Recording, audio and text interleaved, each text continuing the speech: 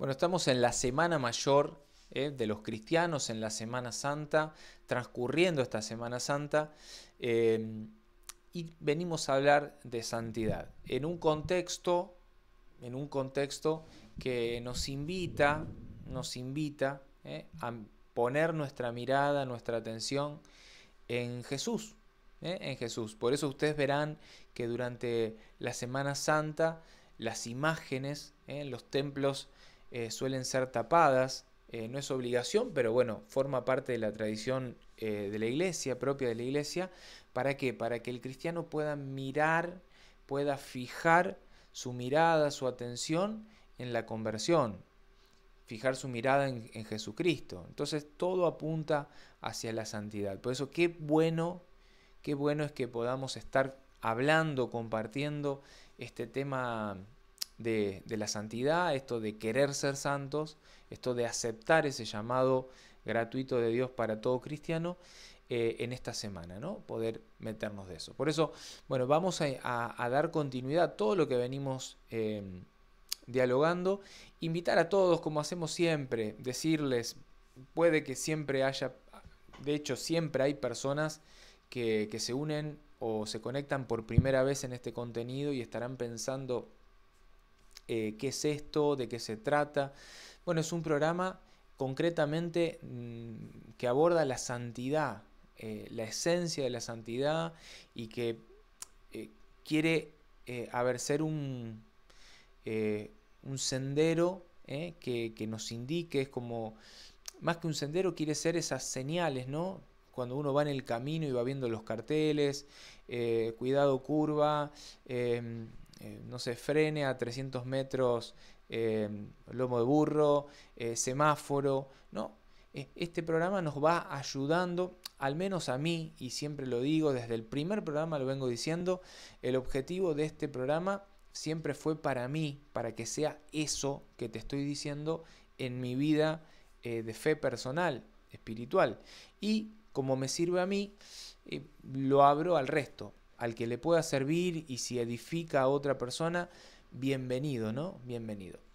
Así que si te conectás por primera vez, decirte que hay más de 140 programas ya emitidos, grabados, hace muchísimo tiempo, ¿eh? ya años que estamos con, el, con este tema eh, de la santidad, abordándolo, en donde, repito lo de siempre, no es que necesite eh, consumir toda, toda esa información para poder alcanzar la santidad. No, la santidad la puede alcanzar toda persona, es don gratuito de Dios. ¿eh?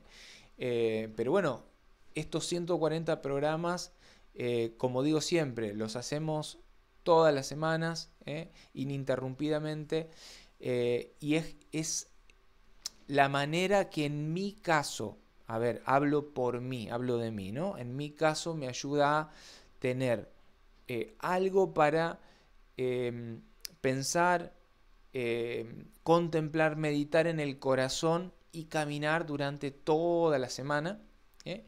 Eh, hasta la semana siguiente. Entonces es una manera de, tener el corazón expectante, la mirada puesta en lo verdaderamente esencial y de esa manera seguir caminando en este peregrinar hacia la casa del Padre, que será cuando cuando Dios nos llame, ¿no? Eh, eh, que solo Él sabe cuándo será. Entonces, hasta que eso pase, estaremos aquí, ¿eh? o trataremos de estar aquí, con esta propuesta de este programa que se llama Quiero ser santo. Ese es el deseo de nuestro corazón. Programa pasado estábamos abordando el capítulo 10 de este libro segundo de Tomás de Kempis que se llama Imitación de Cristo y ya sé al menos tres programas que venimos abordando el tema de, a ver, lleva por título del agradecimiento de la gracia de Dios.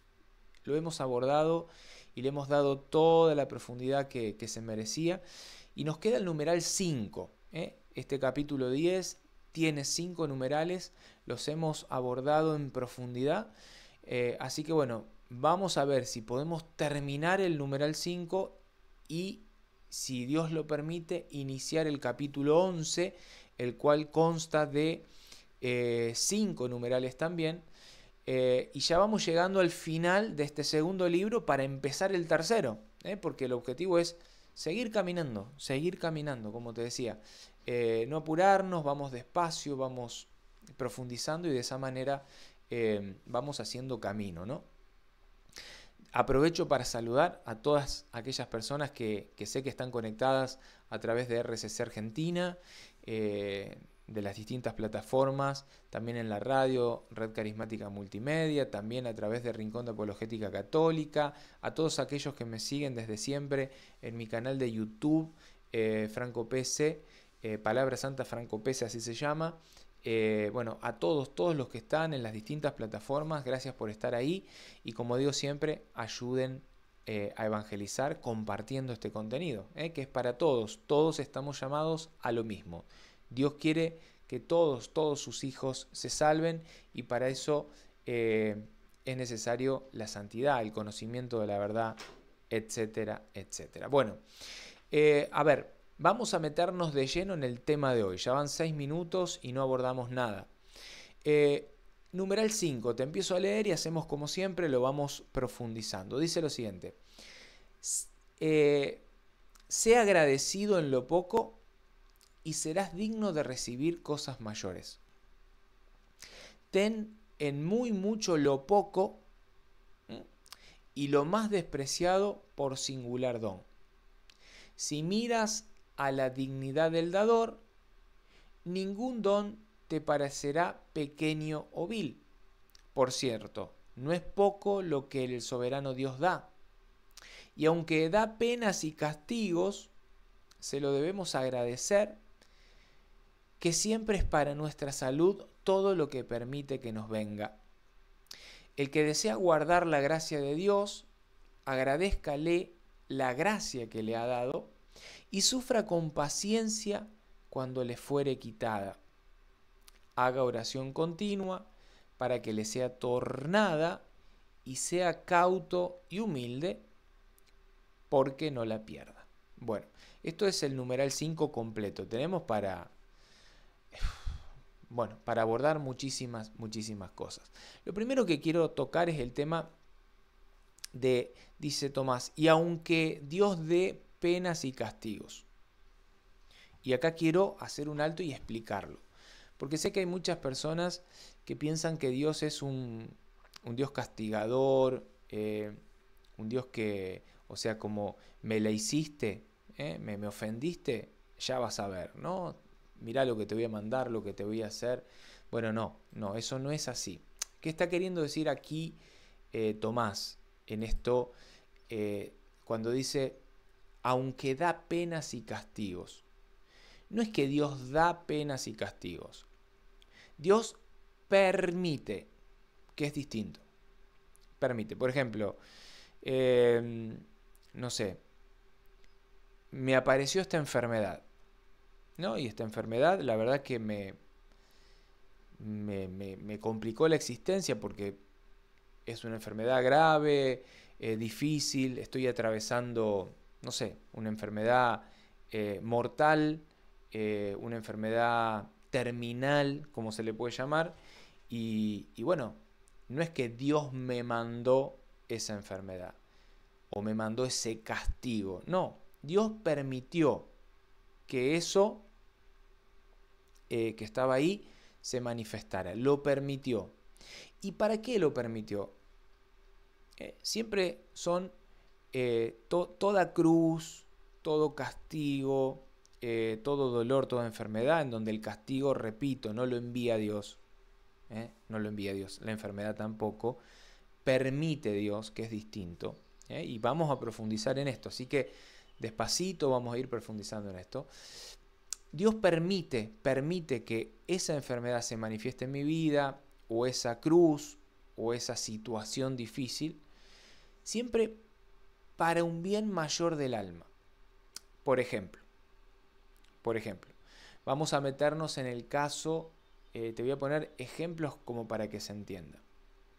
Siempre es en, en beneficio del crecimiento espiritual de la persona.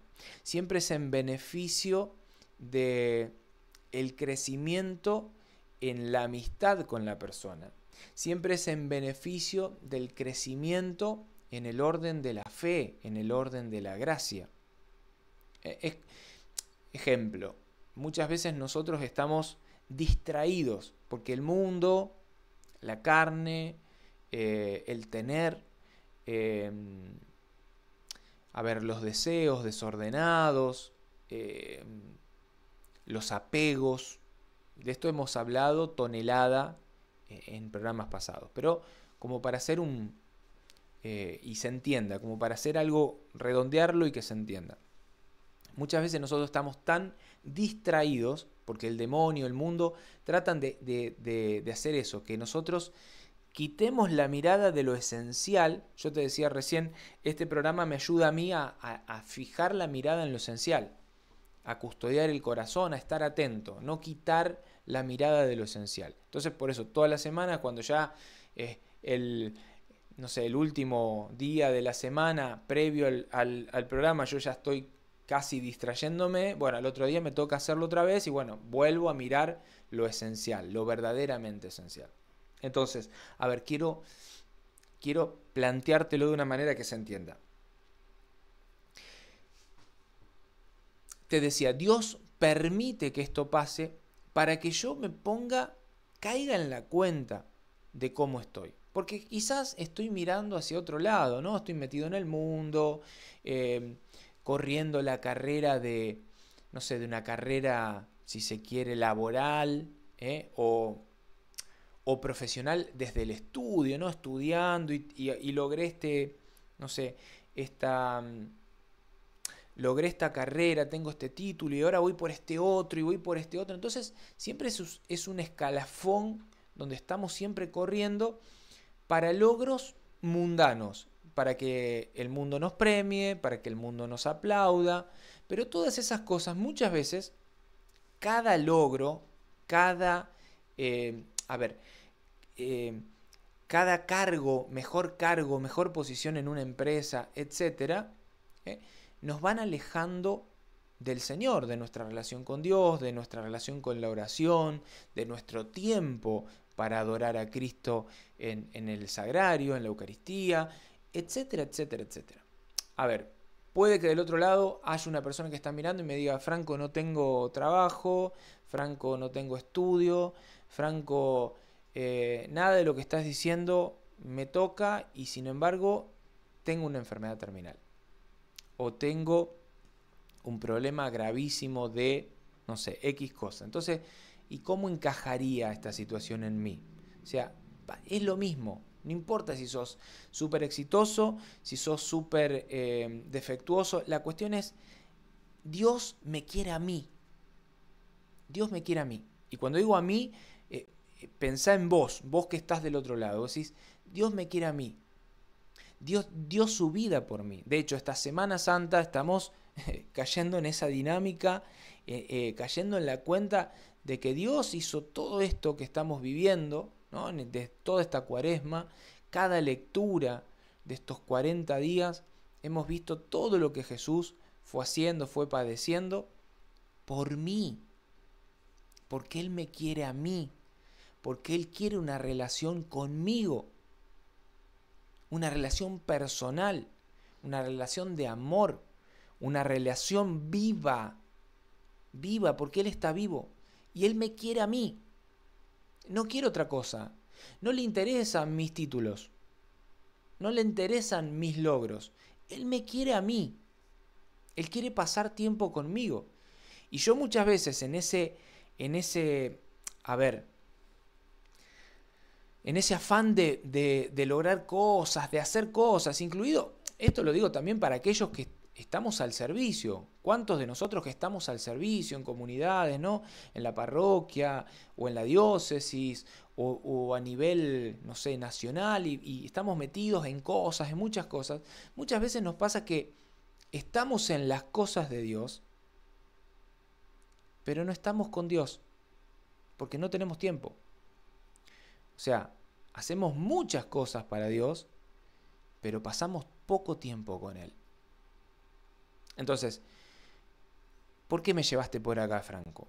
Y te llevé por ahí, ¿por qué? Porque decía recién, Dios permite la enfermedad, Dios permite el castigo, decía Tomás. ¿eh? Dios permite las penas. ¿Por qué? Y porque es como decirte, ¿viste cuando te agarra alguien, eh, cuando uno está adormecido, anestesiado, dormido, te agarra alguien y te, y te zamarrea, te mueve así diciéndote, ¡Ey, ey, despertate! A vos, a vos te estoy hablando, despertate, o cuando te tiran un balde de agua fría diciéndote, abrí los ojos, despertate, reaccioná. Vos que estás ahí aletargado, dormido, reaccioná. Bueno, Dios muchas veces permite la tribulación, la pena, la enfermedad, para que nosotros reaccionemos, para que dejemos de mirar lo que no sirve, lo que no edifica, lo que no me no me sirve. No me sirve. pero Franco, pará, ¿cómo? Si yo estoy haciendo esto que es para Dios, o estoy haciendo aquello otro que es para el bien de mi familia, ¿cómo me vas a decir que no me sirve? Repito lo que dije al principio. Dios me quiere a mí. Dios me quiere a mí. Dios quiere una vida conmigo. Dios quiere una relación personal conmigo. Y de hecho, el, mandamiento de, más grande es amar a Dios por sobre todas las cosas. O sea, está claro que lo que yo te estoy diciendo no me lo estoy inventando. ¿Por qué Dios me pide como principal mandamiento que lo ame a Él por sobre todas las cosas? Porque Él me ama a mí por sobre todas las cosas. Al punto que no escatimó en enviar a su hijo, al punto que su hijo no eh, pensó en nada, se donó, dio su vida para rescatarme, para salvarme. Y digo, en el rescatarme a mí, repito lo de antes, ponete vos, vos en mi lugar, ¿no? Es decir, Dios dio su vida por mí. Dios este Viernes Santo lo van a crucificar, lo van a matar, lo van a escupir, lo van a azotar. Y todo eso es por mí. Él lo permitió porque me ama a mí. Y repito, porque quiere eh, pasar tiempo conmigo. Pero claro, se me pasa la vida, se me pasan los días y yo estoy mirando para otro lado. Y yo no tengo tiempo para estar con Él. Y no tengo tiempo para pensar en Él. No tengo, no tengo tiempo, porque tengo otras cosas que parecen, aparentan ser más importantes. Y las excusas siempre encajan, ¿eh? Pero el Señor, ¿cómo se va a enojar de que no haya ido a pasar tiempo con Él si Él sabe que yo estoy trabajando para el sustento para mi familia? Claro, la excusa es buenísima, pero no me sirve no me sirve. Y a Dios tampoco. ¿No? Porque en este afán de, a lo mejor, de trabajar demasiado, eh, no me separo tiempo para estar con Él. O el tiempo que tengo lo voy a usar en otra cosa. Va a salir, la, no sé, tú, tengo una hora y esa hora que tengo y tengo que hacer ejercicio, tengo que hacer deporte. Y el Señor sabe que eso eh, lo necesito hacer, que es importante. Y así las excusas, ¿no? Las excusas van a suceder. Pongo ejemplos. Dependiendo de la persona, será el tipo de excusas, será el tipo de actividades, de obligaciones, de ocupaciones. Lo cierto es que todos, todos tenemos obligaciones, ocupaciones y excusas. Y excusas. Pero repito, Dios me quiere a mí. Dios me quiere a mí. Dios quiere pasar tiempo conmigo. ¿Eh? Por eso dice Tomás, repito, y aunque Dios da penas y castigos, que le pongo el término eh, que quiso decir Tomás, que es decir, y aunque Dios permite que eso ocurra, la enfermedad, el dolor, la tribulación, aunque Dios permite eso, dice, siempre es para nuestra salud. Y ahí yo sé que te vas a pensar, pero Franco, si estamos hablando de que estoy atravesando una enfermedad terminal. Vuelvo a la enfermedad para que se entienda lo que quiso decir Tomás y que nos sirva a nosotros para la vida de todos los días en este peregrinar hacia la santidad. si estoy pasando una enfermedad terminal y este tipo, esta persona, está hablando de que siempre eso es para nuestra salud. ¿Cómo una enfermedad me va a servir a mí para mi salud? Es una locura lo que están diciendo. Que estoy pasando, ya atravesé, no sé, 10 sesiones de quimioterapia, estoy todo quemado por todos lados y, me vas a venir a hablar de, salud, de que, de que esta enfermedad le sirve a mi salud. Estás loco. Bueno, no, pará, tranquilo. Te entiendo, entiendo la situación en la que, en la que estás. ¿eh? Entiendo. ¿Qué está queriendo decir Tomás? Tomás está hablando de esta salud del alma. Esta salud del alma. Nosotros nos miramos todas las mañanas, todo el día. Hay gente que no tiene ni tiempo de mirarse al espejo, pero eh, muchos de nosotros eh, nos ocupamos mucho de nuestra apariencia corporal, física, ¿no? Entonces, eh, están aquellos que se miran a la mañana, se peinan, eh, se afeitan. Fíjense que yo hoy no me afeité, pero bueno, se afeitan, se maquillan, se depilan, se cortan el pelo, ¿no? Esta cuestión de a ver cómo estoy vestido, la mejor ropa o, la ropa eh, para determinada ocasión o trabajo tarea, ¿no? Pero, pero hay, hay una necesidad habitual, constante, diaria, del cuidado, de la imagen, de, cómo me veo, de cómo me ven. ¿eh? El tema es que sería buenísimo, sería buenísimo si, si la vida incluyera un espejo para ver el espíritu, para ver el alma espiritual. ¿Por qué? Porque yo siempre esto lo pienso y lo digo y lo sostengo. ¿Qué pasaría hoy si yo pudiera ver mi alma espiritual? ¿Tendría la misma apariencia que tiene hoy mi cuerpo físico? Al cual, repito, lo cuidamos, estamos siempre mirándolo, están aquellos que hasta lo sobreprotegen, ¿no? Eh, gimnasio todos los días, eh, no sé, se ponen, se conectan estos electrodos para, para tonificar los músculos, van y toman estas pastillitas y, van al médico para que le haga la liposucción, y, o sea, cuántas cosas no eh, en algo que es corruptible, que se va a morir. No hoy porque tenés 20 años, pero bueno, en algún momento eh, va a perecer porque, porque el fin último, al menos hasta que Jesús venga y, glorifique nuestros cuerpos, que, es, que Jesús viene por nuestra alma y nuestro cuerpo, eso es real, la resurrección. Pero hasta que eso pase, la realidad es que Dios me va a llamar a su encuentro y mi cuerpo va a perecer. Va a perecer, es, corruptible. Se va a morir, se va a podrir, se va a llenar de gusanos y se va a convertir en polvo. Esa es la realidad. Pero sin embargo nosotros estamos muy, muy eh, empecinados en cuidar la imagen. Ahora, ¿qué pasa con la imagen de nuestra alma? Porque nuestra alma tiene una imagen, que de hecho debiera ser imagen y semejanza de Dios el pecado la desfigura, desfigura la imagen, desfigura la semejanza con Dios.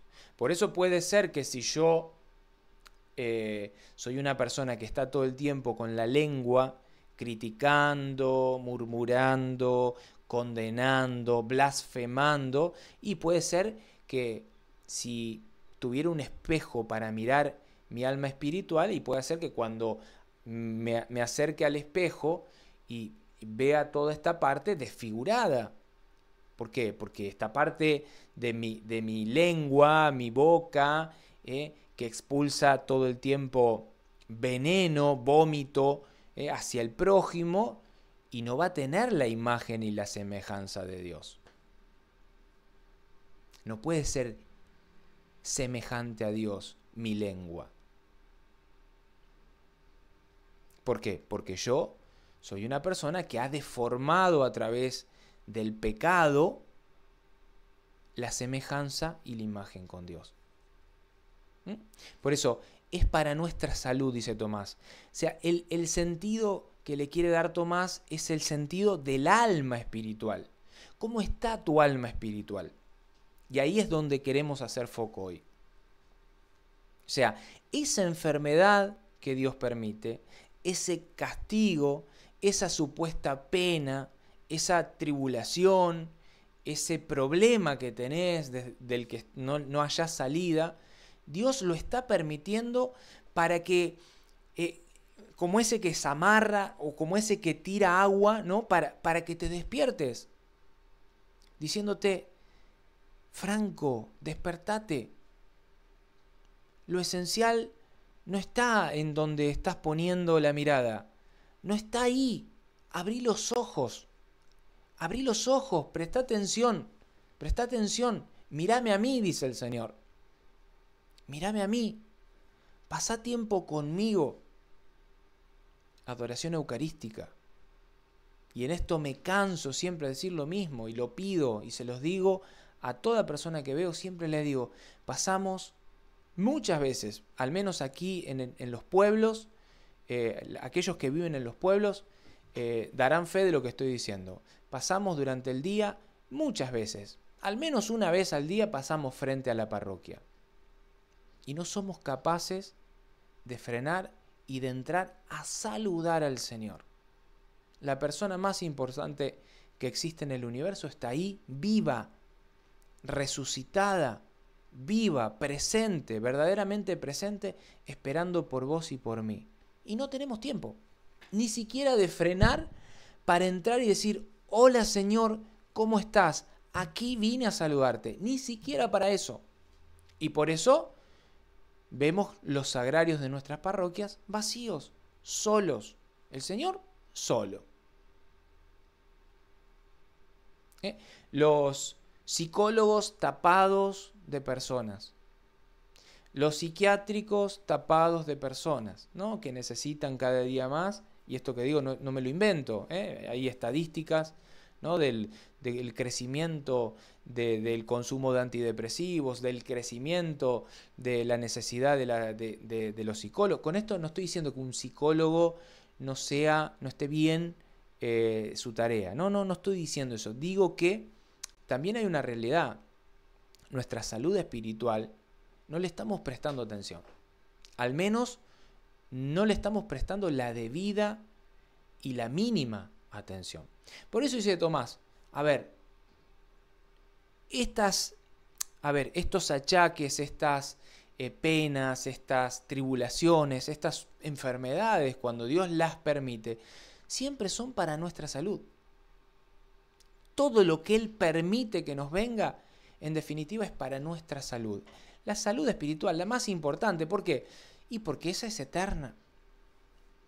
El alma espiritual eh, necesita tener la mejor salud, porque dependemos de eso, ¿no?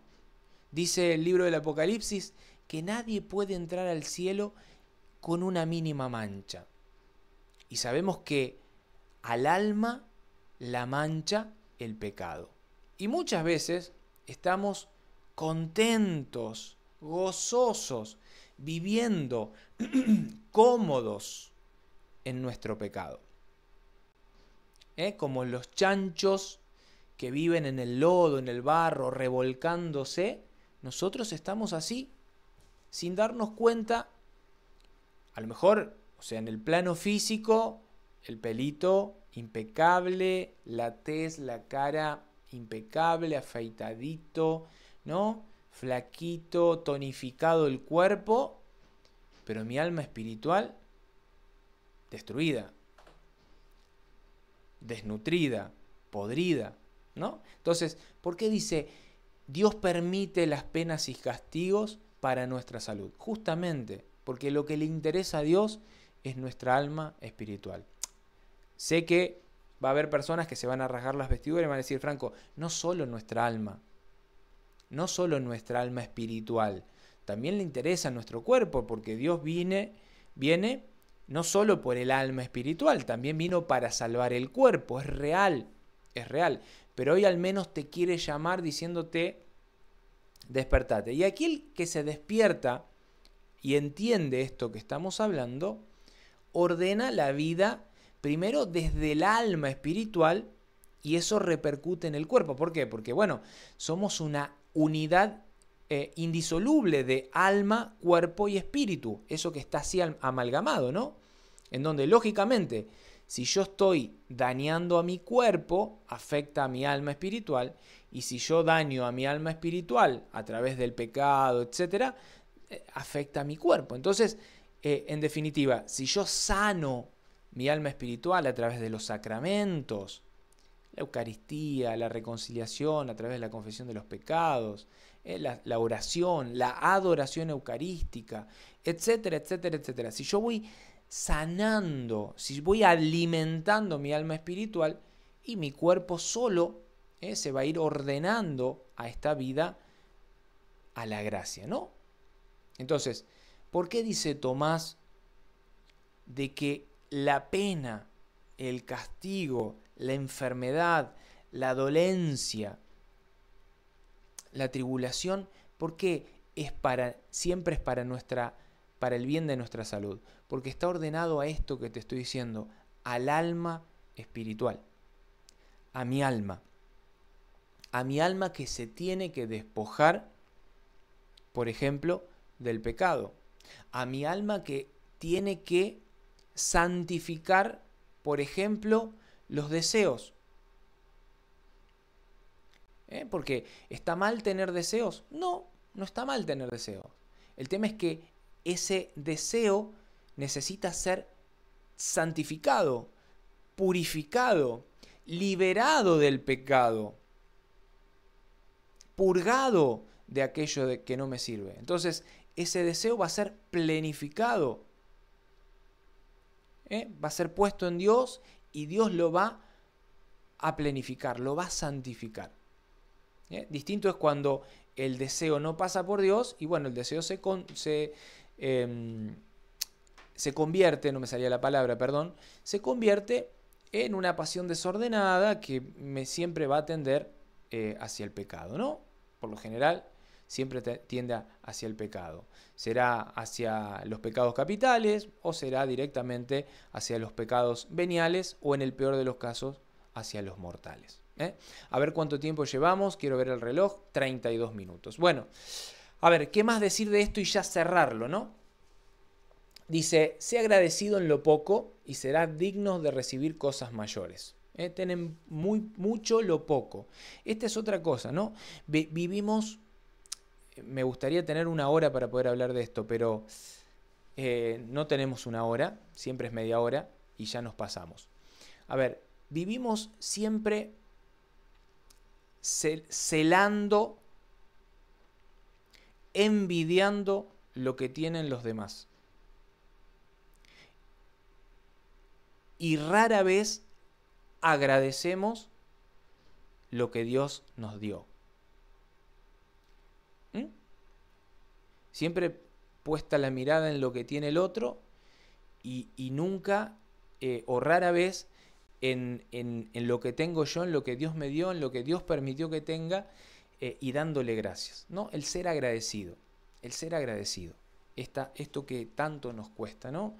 eh, sí, soy pobre, no tengo lo que tiene el otro, o tengo menos, pero Señor, gracias, gracias por esto que, permitiste, por este don. Empezando por ahí, ¿no? Empezando por ahí. Este talento, este don, que, que, no solo eh, me sirve a mí, le sirve a otros. Por ejemplo, esto que te decía al principio, yo este programa lo hago para mí. Pero bueno, yo podría ser egoísta y decir, lo grabo, lo hago, lo estudio o leo en casa a la noche y me lo guardo para mí. No, es decir, a ver, esto que a mí noté que me servía, abrirlo a los demás para que los demás se edifiquen de esto. Bueno, ¿cuántas personas que tienen dones ahí ocultos? Digo ocultos porque no los ponen al servicio de los demás, eh, es como que los esconden, los, eh, a ver, los aplacan, los pisotean. Decir, no, a ver, Señor, esto poquito que me diste, primero gracias y después, bueno, lo voy a poner al servicio de los demás. ¿Mm?